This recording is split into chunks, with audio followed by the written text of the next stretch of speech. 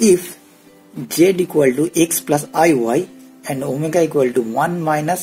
iz by z minus i then show that mod omega equal to 1 implies that z lies on the real axis এটা prove করার জন্য কি করব আমাদের যা দেওয়া আছে সেখান থেকে স্টার্ট করব we have mod omega equal to 1 that means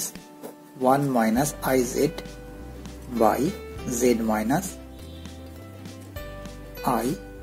equal to 1 z equal to x plus iy then ইকুয়েশনটা চেঞ্জ হয়ে যাচ্ছে 1 minus i into x plus iy equal to mod of x plus iy minus i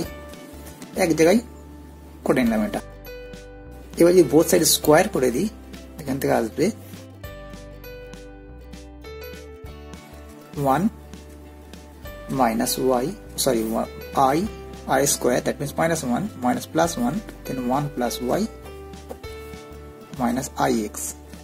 equal to x plus i into y minus 1 both sides square করে নিই এই simplify করি আসবে 1 plus 1 plus y the whole square plus x square equal to x square plus y minus 1 the whole square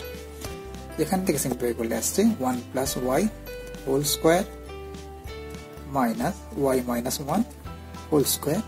equal to 0 then এটা simplify করলে আসছে 4y equal to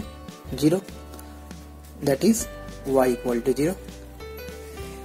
therefore z equal to x plus iy equal to x because y equal to 0 which shows that z lies on the real axis. Thanks for watching